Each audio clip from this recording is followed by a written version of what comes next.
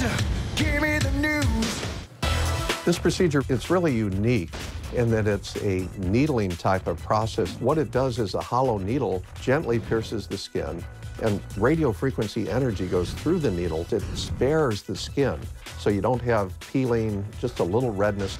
During the initial treatment, it was little to no pain. Once the redness disappeared, I noticed an immediate difference in my upper cheekbone area.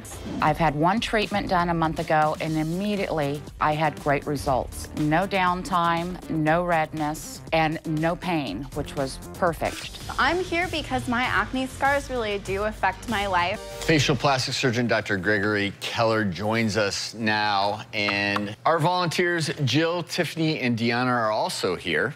Ladies, how you feeling? We feel great. Good. The concept with needling is these are very small needles that basically it's like aerating your lawn.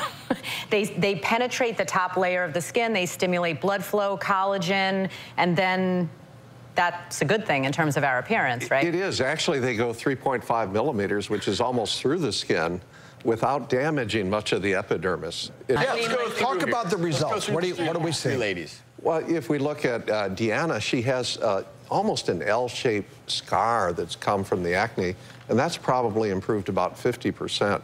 Tiffany's had this all of her life, and I, you know, that's a shyness. Uh, Tiffany's not real shy lately. yeah. That has always been very difficult to treat acne scarring. And Jill, you look amazing. Thank you.